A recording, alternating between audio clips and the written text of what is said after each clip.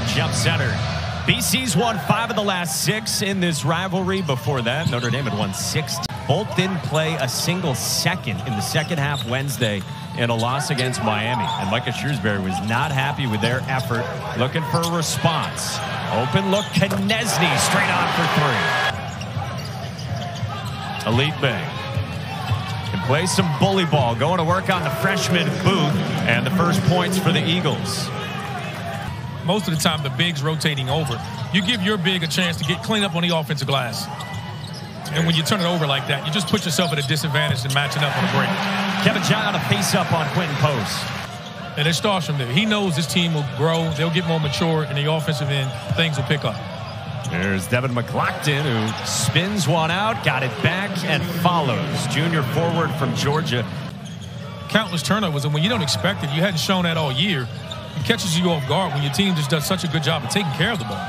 McGlockton sticks a three on the pitchback from Claudell Harris and a good start. Florida State did not have Primo Spears no. nor Cam Corhen in that first game at the Smith Center. Well, here in South Bend, it's BC by two, and Jaeden Zackery adds to the lead with his first points. Third leading scorer for the Eagles, the veteran guard who is BC basketball, in the words of his head coach. Can't connect. Zona the offensive rebound. Roper to the corner. Konieczny. Tied at 11. Konieczny knows. There's no hesitation with him. Zona moves it for Shrewsberry. Again an open look. Konieczny misfires. Offensive rebound again. Konieczny right back in for two. And Notre Dame leads. Roper on a drive, a little bit out of control. And here's BC down by two, coming up on six to go first half. Donald Hand Jr. off the bench, sticks a three. Burton around the corner. Shrewsberry on the drive, pulls up. Too strong.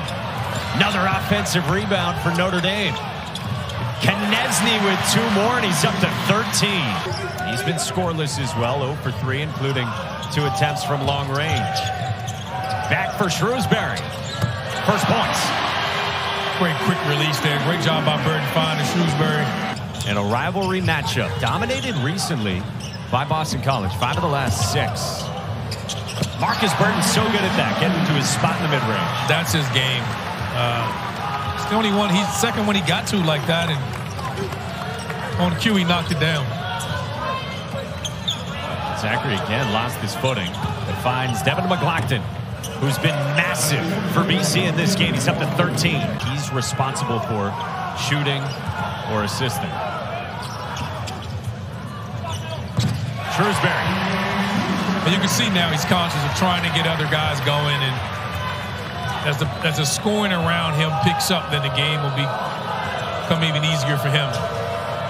But now he's got to pick it up on the defensive end. They're doing a great job of trying to put him in the post. He was late getting out to Claudell Harris, who knocks down his first shot of the day. Is six. Just past the midway point, second half. Burton, driving dish. Shot fake, Shrewsberry. Knocks it down. Great quick release by Shrewsberry. Side steps to get away from the defense and gets it off. Knocks down his second three of the afternoon. Well, that was much needed for Notre Dame. Madsen moves it. Harris again. Answers.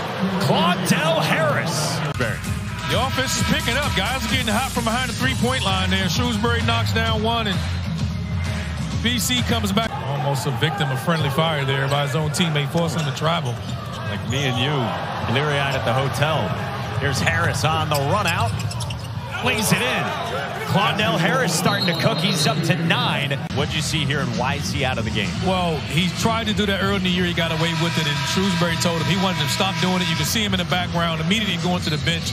That was a no-no. He stopped. You know, when you when you're in this situation and you do something wrong with the coach and he takes you out, it's kind of like a, a kid when you. There it is. He's making himself he's getting involved in his game, reminding coach they can't play without him. Just a great job there, running through the passing lane If he would have dumped that, he would have brought. Burton off the bounce. Harris stayed right with him. Kelley in transition. Lays it in. Kelley and McGlockton, The five for Earl Grant with Quinten Post having fouled out. Harris came up short. McGlockton, the offensive rebound and stick back. Great job by McGlockton. Using it for a dribble handoff there.